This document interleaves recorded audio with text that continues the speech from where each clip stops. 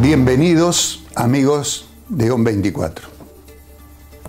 El lunes de esta semana en Córdoba, el presidente Macri dijo, nos están matando de impuestos. En general, los presidentes, el actual y todos los anteriores, no tienen idea de lo que es el sistema impositivo. Por eso no actúan.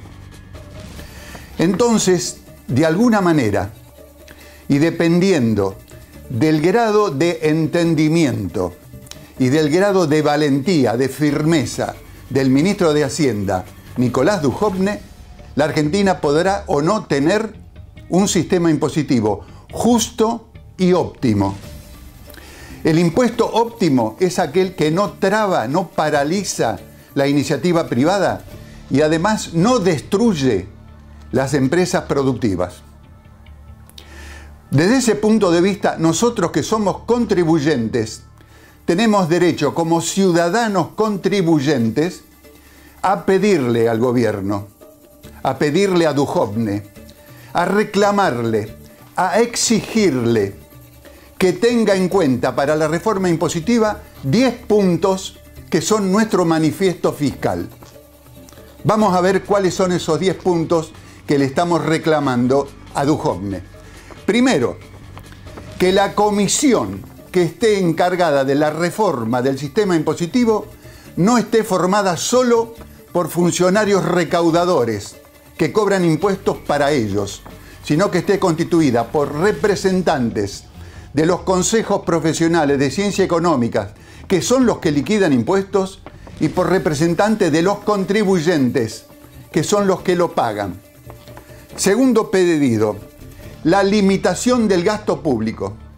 Antes que nada, no puede haber ninguna reforma del sistema impositivo si no se define cuál es el porcentaje numérico preciso de gasto público que se van a tener que financiar con impuestos.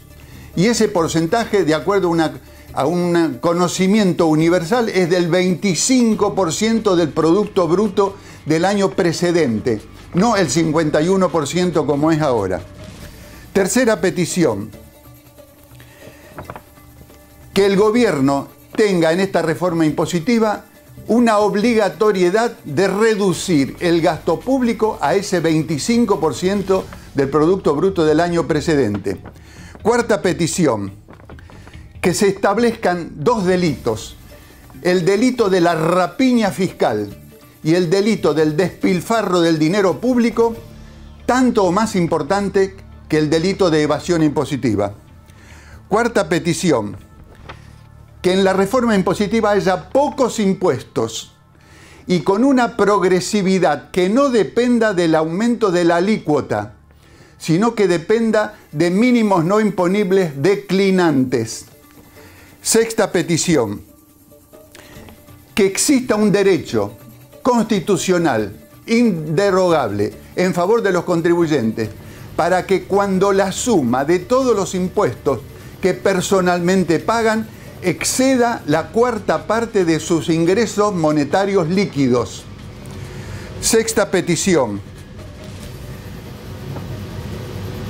Que se establezca la cláusula del contribuyente más favorecido, de manera que si por una razón política a Hugo Moyano y su sindicato le dan una exención impositiva, esa misma exención impositiva automáticamente se tenga que extender a todos los contribuyentes que estén en igualdad de condiciones. Y no que haya privilegiados que tienen exenciones de impuestos y otros carecen de ellas.